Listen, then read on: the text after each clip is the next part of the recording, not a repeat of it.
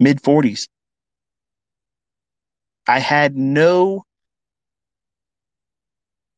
concern of the outcome of how my family would because I was thinking, well, they're going to be happy because I'm making a lot of money. I'm presenting, you know, a lifestyle for them, and you know, if they need something, Dad's got it. You know, that was my rationale for doing it. But that's not good because I wasn't there for the dad moments I should have been. And if you're a young person without children and you plan on having children, or necessarily don't have to be a young person, but if you haven't had children yet and you're about to do so and you're embarking on this journey, do follow what I put out in that 1440 series. It's you will hear from my heart. And uh, the series I did, if I go back and tell my younger self, you know, what I know now, um, I literally expose my heart to all of you. And uh, I can be honest and tell you, I, I was afraid to put it on YouTube. Because it's it's raw. And I speak right from my heart, and I'm telling you things that most men probably wouldn't admit to, because we want to walk around like we have a 12 inch cock, and any woman can get with us because we want them, and, and that's just the way it is, and we're Mister Everything, a Chad, and in reality, you know, when you have children, your life isn't yours. And I did not do the right things. I did not do the right things. I, I spent too much time pursuing this and not being the dad. And it's it's it's unfortunate, but I have time, hopefully, that I can now pursue things and, and make memories with them. So you can have a whole lot of money. You could be, you know, a person of influence in the in this industry and be a fucking failure as a family person. And I was a failure I, I was not doing the things I should have been doing. I spent way too much time doing all this stuff. But it's it's it's my passion, and I it's the words I'm, I'm they're just not reaching far enough for me to to feel satisfied in explaining. All I know is you can think that you're successful because you make a lot of money and you can have a lot of nice things and afford things and not worry about the cost of living and still not be happy, not satisfied, and regretful. If you do the things that I did wrong, you'll have that same discomfort that I feel. Like I know some of you sit around thinking, man, ICT must be really happy right now. He's kicking back. I have a lot of regret. I wish I would have done things that were simple, that didn't cost anything just my time and attention towards my kids and my wife. If I would have done those things more, I wouldn't feel the guilt that I feel. I have lots of money, but that doesn't compensate for it. Them knowing that we have that money doesn't compensate for it. You know, hearing my kids tell me just this weekend. So this is awesome, Dad, to be able to you know, spend time with you like this because we never had that before. And I broke down right in the restaurant. I'm appreciative that they recognize it, but it's just like and I don't want to tell them don't say that because they're it, it, they should tell me. They're, in, they're it's entitled to them. They need to tell me that stuff, and I need to hear it. But you don't want to be like I am right now, hearing it, where you could just plan your life better. Success can be had, and you don't need to be a a, a monster in it like I was trying to be. Like it, it devoured my entire life. And for the folks that are constantly always you know, reaching out to me, and trying to tell me, please don't you know, stop doing what you're doing in November, you need to really understand why I need to stop. Like if you respect me, you'll respect the fact of why I'm doing it. Because the money, I can make lots of money. I can make mentorships. I can make books. I can make courses. I can blow that fucking YouTube channel up and advertise every fucking where and be a, the biggest name in this industry. I don't want it. I don't want it. It didn't do anything for me as a family man. At the end of the day, I have to look my children in the face. I have to look at my wife. And yes, they might smile and say, I love you, dad. But behind that, they have so many open voids of time where I was not there and I was in the house with them. Do you want to hear that from your children? Do you want to look at your wife when she says, I love you, and you know she's reaching to just to say, You are the man I love, you're the person I married, you're the father of our children, and I'm appreciating the time with you right now, but I have to appreciate it so much more because I don't know if you're going to go right back into doing what you've been doing for all these years in your entire adult life. You don't want to feel that. Trust me when I tell you, you don't want to feel that. Fast cars, big bank accounts doesn't compensate for it. And a lot of people, you know, that write books, they won't ever tell you that shit because they didn't get rich. They're making money off of book sales. They're selling books because they have to sell that book. I'm walking away from it at the biggest point of my career as a mentor, as a teacher, or whatever. All the hype and stuff that's around me right now, I'm uncomfortable by it. Like I'm I'm genuinely uncomfortable. I have a lot of people asking me to talk publicly. I'm not going to drop names, but uh, I'm just I'm shy. Like I, I don't want to be like that. I can talk like this and pour my heart out to you because you're not sitting next to me. If you were being trained one on one, you know, one on one, I wouldn't talk about the things I've talked about. I would talk about the markets and how they would beat the fuck out of you. But I'm not going to tell you where I messed up as a husband, as a as a dad, as as the real human being. I failed there miserably.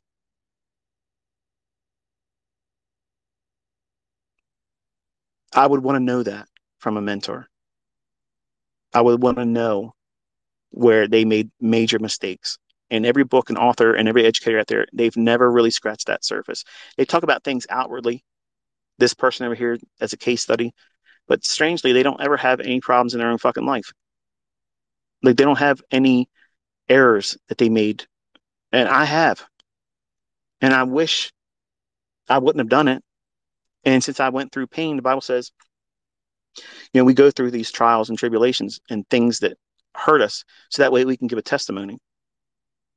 I didn't lose sight and hope of, you know, who was in control of me when I didn't have control of myself. And ultimately, he he steered me where I am today.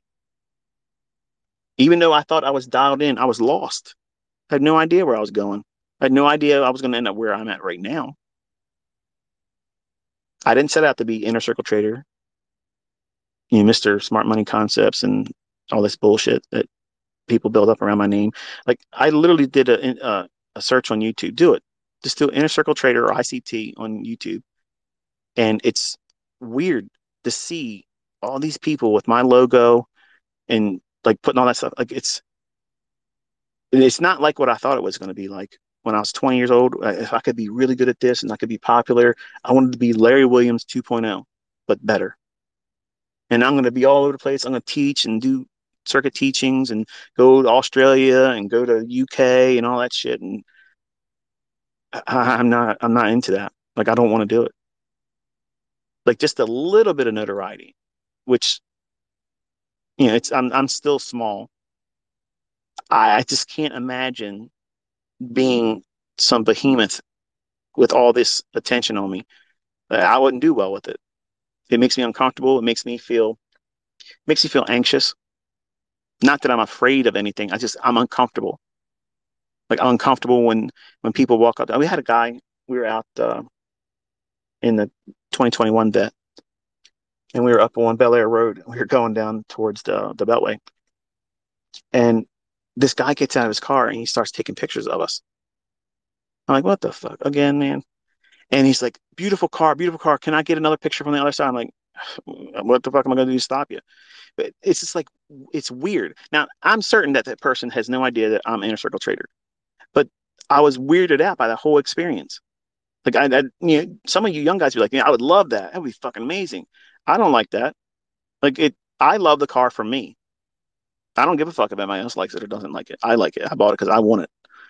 And I don't use my image as ICT publicly. Like I don't do that. Like I don't have inner circle trader tags like on my car. Like you'd probably expect ICT one, ICT two, you know, for for every car I have. I don't I don't have that. I don't want to draw any kind of attention to myself for that shit. And I'm really looking forward to post November just being back to just boring me. Like I, I miss that about me. Like I want to have just my own personal space, my own time, and and back to just being content like that. Know, I said the other day on Twitter, I said when I wake up in the morning, all of you, my personal students and all of you, are my first thought. Now I have five kids and I'm married. Is that normal? No. There's something wrong there. It's imbalanced. I have to balance that. And as long as I keep making myself available like this, it will remain unbalanced. This will always take more of my time. Well, I mean, we're going on three hours and it's not monetized. I live this and I want you to succeed. But I also have a family and they want me in their life. They want me making memories with them. And I have to make myself available for that. And that's that's the reason why in November I'm stopping. I want my holiday season to be joyful, away from markets, away from Twitter, away from YouTube, you know, all that stuff. And it's not because I don't love doing this. I absolutely love it. I love it. But I have to take myself away from it because I can't control myself to not keep doing it. It's, just, it's, it's who I am. And I need to change that. I don't want to stay inner circle trader. I don't want to be ICT you know, the rest of my life. I mean, obviously I am, but I don't want to be living my life as inner circle trader. I just want to be, you know, me. And I hope you can appreciate that. And it may not seem fun, like, oh man, this sucks, but all my videos are staying up. I mean, once in a while, a couple times a month. I'm not promising it to talk about a market, you know, share an opinion about something, but I'm not promising that. And I want you to understand that, that that's where I want to go. And if I do do that, that still in itself will reduce. I don't need YouTube. I don't need ad revenue. I don't need mentorships. And I don't need book sales. But I do want to make my final point about all this and be done with it. And whatever you guys do collectively as a community, as as the industry, whatever you do with the information it helps you improve, you know, God bless you in it. Like that's the whole reason why I did it. That's why I did it. And if it was anything other than that, I'd still be pushing and trying to build up all the things right now to, to make it bigger. I don't want it to be bigger. I'm uncomfortable. So you might be surprised if you find success and you find notoriety. You know, it might be the same for you or other people that thrive in that. You you want to be a celebrity and you become one and you excel in it. I, I just don't feel comfortable with it. Like I, I just I'm just a regular person, you know, with a blessing. And I asked in a prayer that if he would let me understand it, put it in front of me where I can understand it, I would spend the rest of my life teaching it. And once I've said everything I will say publicly, there's nothing less there's nothing left for me to teach. Like I've emptied myself out. And anything that's kept is not for you and I don't feel obligated. I don't. That wasn't part of the arrangement because I taught how to trade. I taught how to read the markets the way I see it, and I understand how it's delivered, and I'll be content. And that's my goal. That I have an itinerary. Like I said, uh, uh, what I want to talk about, when I want to talk about it, how I want to talk about it, and when we're done, we're done and being upset about it, it's just a waste of energy and, and, and time. Pour yourself into the content, study it, make it yours. And then don't forget me.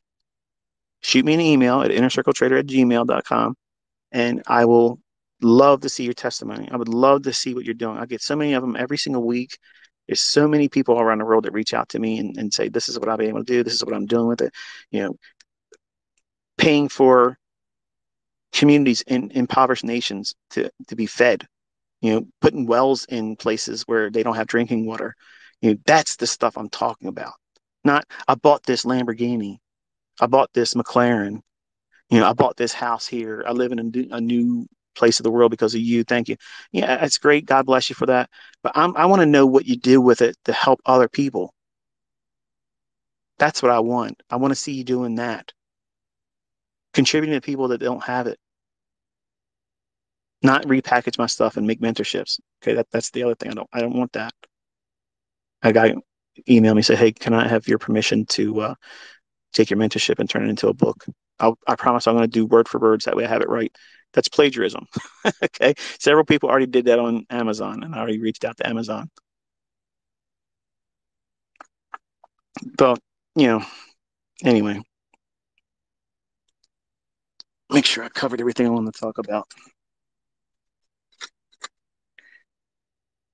Yeah, so you want, you want to strip everything down that I've taught and make a simple model out of it. You need something to justify why you're bullish or bearish. You derive that from the weekly chart. And then you look on the daily chart for liquidity or inefficiencies. Where is it going to reach for within that weekly chart expansion, either higher or lower? If you can find something that can agree on what your expectations are on the weekly chart, what does that mean? If you're bullish, it means you think that the weekly chart, the candlestick that's forming for this week to come or the present week that hasn't completed yet, it's going to reach up to some kind of inefficiency, like a fair value gap above the marketplace on the weekly chart now, or it's going to go above a weekly high where buy stops would be. Which one is more likely to occur? To go up for either one of those scenarios or to go down for either one of those scenarios, but in the reverse. In other words, looking for an old low if you're bearish or a fair value gap below market price on the on the candlestick that's on the weekly chart. It sounds like an oversimplification because you're you're ignorant to what it is you're looking for because you're you're too new. But for people that have been studying price action, it's easy to discern which is more likely. Is it likely to go up for either one of those two reasons or go down for either one of those two reasons? And whichever one is more likely to go with, that's your bias going in from a macro perspective. That is not your daily bias. Your daily bias has to be derived from your daily chart. So, for instance, if we had a really big move lower right on Monday and we're expecting it to expand up the upside, then we're expecting what on Tuesday or Wednesday? We want to see kind of some, something to, to reverse and go higher, but not change our bias because of it. Everybody looking at one st- one candlestick on a daily chart would follow that logic that okay, that big move on the one candlestick on a Monday, that's going to be the beginning of the the move for the rest of the week, and that's generally not what happens. Especially when the instances that we're expecting a, a specific thing in the weekly chart to either occur expanding higher or lower. So the weekly chart gives us our macro perspective, the higher time frame perspective. Then we use our daily chart to zero in with the economic calendar, a medium or high impact news driver. In that time of day, that's when the manipulation starts. And after that initial manipulation, we wait for a imbalance to form. There's going to be some displacement the fair value gap will form. What time will it form? 10 to 11 or 2 to 3 o'clock in the afternoon. If it's in London, there you go. You're three times. There's three times in a day. Every single day, one of them forms it in every market. Every market, one of those time frames or kill zones, if you want to call it, it will form. That fucking drone has been sitting here in front of me. I'm gonna take a picture of it. I gotta do it. One